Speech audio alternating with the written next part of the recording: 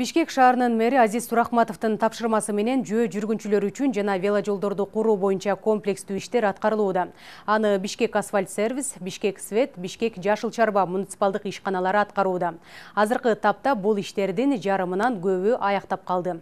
Кененирээк кабарчыбыз айсулуу гайбулла кызынын сюжетинде бишкек асфальт сервис муниципалдык ишканасы шаардын түштүк бөлүгүндөгү п түрүндөгү айланма вело жолдун курулушун аяктады. Ага алы токомбаев көчөсү манас чүй проспектиси жана жусуп абдрахманов көчөлөрү кирет. Э, башында п түрүндө болчу.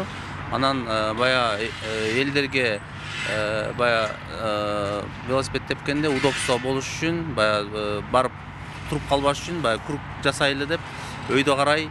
Азыркы убакта манасты Э, акунбаевадан южный магистралга чейин коштук. Э, мурун п болсо азыр почти о түрүндө болуп калгантат э, круговой болот. Манас бүттү толугу менен ал эми кийинки жумадан баштап жал кичи районунда узундугу эки бүтүн ондон эки километр болгон г түрүндөгү вело жолдун курулушу башталат. Ал абсамат масалиев көчөсүнөн ахунбаев көчөсүнө чейинки бөлүгүндө жана ахунбаев көчөсүнөн тынчтык проспектисине чейинки көчөлөргө курулат. Бул үчүн жалпы аталган мекемеден үч жүздөй жумушчу тартылган.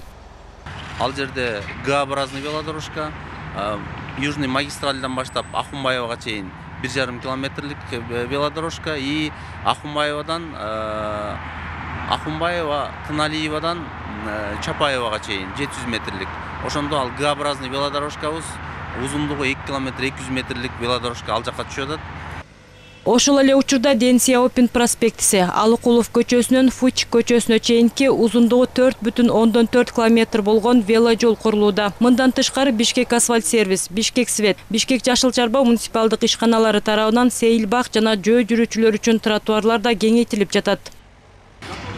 Баягы бир нече аянттарды мурунку жанагы жер тилкелерди бошотуп ошолорду кайрадан ачып бишкек шаарынын тургундарына ушул эс алуучу жайларын көбөйтүүгө абдан чоң жумуш аткарылып жатат.